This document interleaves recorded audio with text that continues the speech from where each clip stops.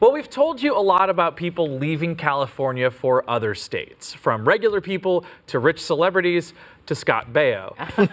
now businesses are also fleeing at a higher rate. A study by the LA Chamber of Commerce says, quote, the Golden State's luster has tarnished. Womp, womp, I know, get those uh, get those writers back to work, man. Businesses leaving California doubled from 2012 to 2019, but still only account for 0.3% of all businesses here. Over 30 years, the state has experienced a net loss of 17,000 businesses. The study says wow. it's high taxes, heavy regulation, and generally unfriendly business environments. Now, the state downplayed the study, though, saying rising unemployment and or ri rise, rather rising employment and new business incorporations means the economy in California is actually doing well.